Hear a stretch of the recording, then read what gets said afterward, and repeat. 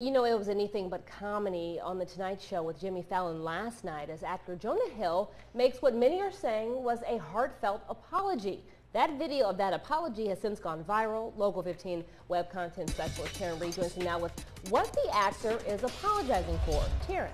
Hey Kelly, Hill, Hill said he was upset when a TMZ photographer harassed him all day, called him names, and made hurtful comments about his family. The encounter happened over the weekend. Jonah Hill took to the nation on last night's Tonight Show to apologize for using a gay slur. Here's a snippet of that apology.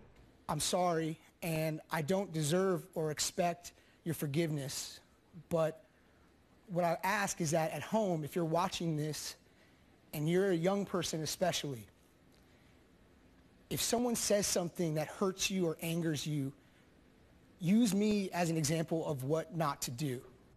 Hill added that he's been a supporter of the LGBTQ community his entire life. Before the Winter Olympics this year, Hill promoted a campaign opposing anti-gay laws in Russia.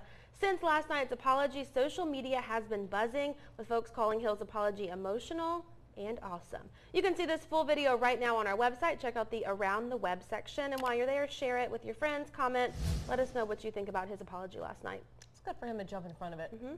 See what he has to say. It is. And everyone said it was, most everyone I read on Twitter, that it was heartfelt, that you could tell he meant it. So that like, means a lot. Not, not, not like a publicist told him to right. say it. Mm -hmm. All right. Well, we shall move on from there. Thank you, ma'am.